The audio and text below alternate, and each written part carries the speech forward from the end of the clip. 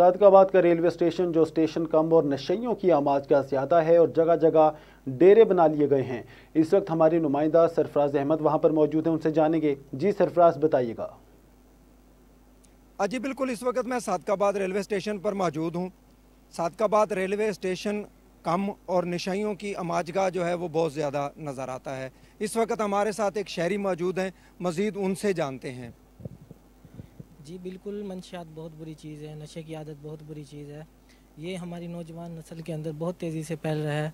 लिहाजा इसके लिए कुछ इकदाम किए जाएँ और इसके ख़ात्मे को यकीनी बनाया जाए। तो इस वजह से मैं हुकूमत से अपील करता हूँ कि इसके लिए सख्त से सख्त इकदाम किए जाएँ और इंतज़ामिया से भी अपील करता हूँ कि मंशियात के ख़ात्मे का मंशियात के ख़ात्मे के लिए कुछ ना कुछ इकदाम इकदाम किए जाएँ। शुक्रिया।